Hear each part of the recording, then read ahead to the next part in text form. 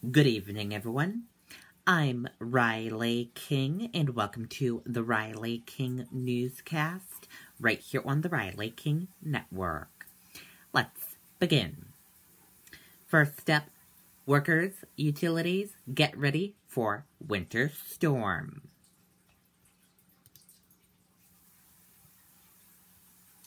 Let's take a listen to the video from WMUR News 9.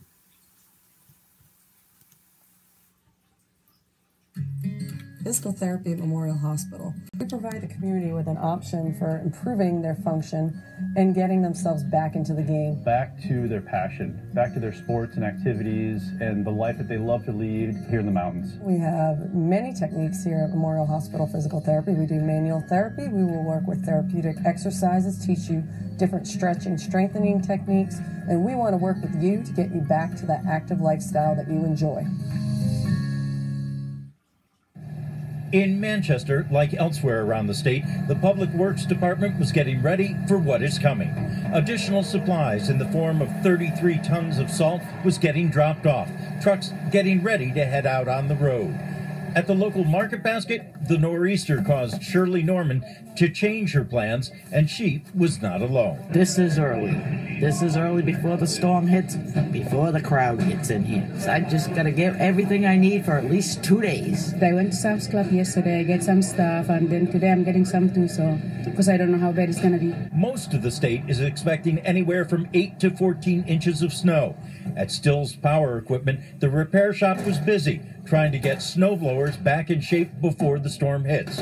After one of the warmest Februarys on record, it looked like the seasons had changed, only to have this reminder that winter still has two weeks left. You know, yesterday we started selling snowblowers again. Last week we're selling lawnmowers and tractors, a lot of commercial equipment. Utilities are also getting ready for the storm. Manchester Mayor Joyce Craig got a look at the resources Eversource has available to it to track outages. She says the city is ready. We have an emergency um, operations center uh, that will be available if need be. Um, cars should be off the road. Uh, that'll make it easiest for us to clear them. Now, if you do lose power, Eversource says it's important to call the utility, even though a lot of their system is automated, especially if you live on a side street. Reporting live in Manchester, Ray Brewer, WMUR News 9. Okay, and there you go on that video and that report.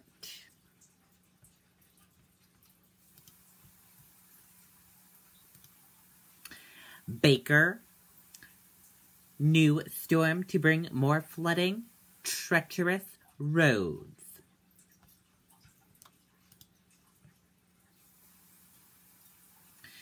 Massachusetts officials are gearing up for the second potential nor'easter in less than a week, with widely different impact anticipated around the state.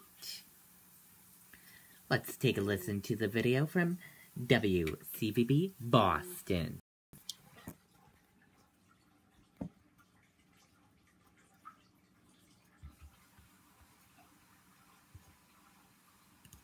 It is right now, Antoinette. But the governor said it best earlier. This storm, it's going to bring different weather challenges to every region throughout the state. The biggest concern right now, as far as MEMA goes, is the driving. Later tonight, specifically routes 128 and points west. That is where we know, as our meteorologists have been saying all along, the heaviest snow will be during that commute time and into the evening. And at the height of the storm, MassDOT hopes to have up to 3,000 pieces of equipment out there on the road. Still, expect a long and challenging commute home. The other thing that we learned is that MEMA and the Red Cross are opening up two recovery centers by Saturday. One will be in Quincy, the other one in Marshfield, and this will be to help the hundreds of people who lost their homes in last week's storm and help them get back on track. Tree Cut Resource Recovery Center will help with insurance claims, federal assistance, and other services that are available to people. Somebody can go up to the, the desk, say, I need help mucking out my basement, ripping drywall uh, that got wet, clearing debris, and uh, these organizations will work to get volunteers out to their homes. Uh, most. So the exact locations and times of these uh, recovery centers has not yet been released, but we'll get that information to you as soon as we have it. The other thing the governor stressed was for people to call 211 for any storm-related emergency services. We're live in Framingham. Katie Thompson, WCVB News Center 5. Katie, thanks. Okay, and there you go on that video and that report. And just came into our newsroom right now. Boston schools will be closed tomorrow.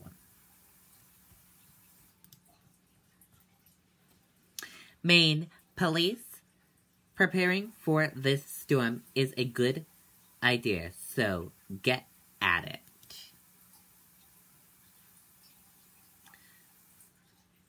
Another snowstorm is upon Maine, and that means Bangor police are out with some tips.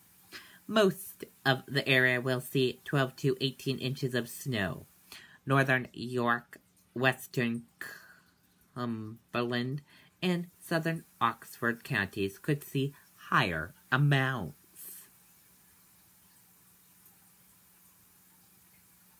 If the power goes out, never run a generator indoors and keep it away from your home. As always, police are warning Mainers to stay home due to dangerous driving conditions. And now let's take a look at your U.S. stock market and see how your U.S. stock market closed for this Wednesday evening. And here's a look at the markets right now. Your Dow Jones Industrial Average closed in the red and went down. Your Nasdaq closed in the green and went up. S&P 500 closed in the red and went down. CNBC IQ 100 closed to flat. Gold closed in the red and went down. Oil closed in the red and went down. US 10 year closed in the green and went up. Euro slash USD closed in the red and went down. And VIX closed in the red and went down.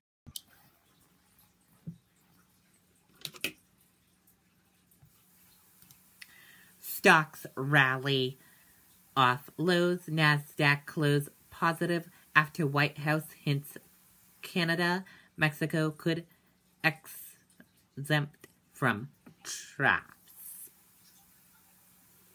Stocks closed well off session low on Wednesday after the White House hinted Canada and Mexico could be exempt from traps proposed by President Donald Trump.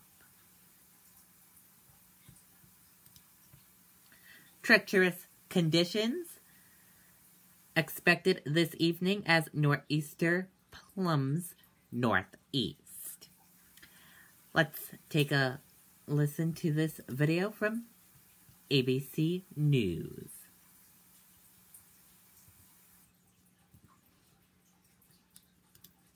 What if people had a battery level icon? You'd see a lot of us in need of a recharge. Thankfully, there's 5 Hour Energy. Just one shot can recharge your batteries, all the way back to 100%. 5 Hour Energy. Get back to 100%. And the nor'easter that roared through last weekend left behind a rare sight along the coast of Maine.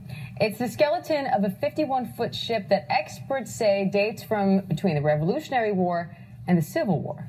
It was first seen in 1958 and is usually buried under sand. Well, the wreck only emerges when powerful storms move enough water and sand to uncover it. The last time it was revealed was about five years ago, but anyone hoping to snap a pic has to get there soon because it will likely be covered again very shortly. But luckily, there's another storm that'll just clear all that up. Oh, great. Yeah, so there. That's great news. Okay, and there you go on that video and that report. And that does it for the Riley King newscast right here on the Riley King Network. I hope you all have a great rest of your Wednesday evening, and I'll see back here with a news report later on this evening, and I'll see back here tomorrow with another newscast. Good night, everyone. Bye.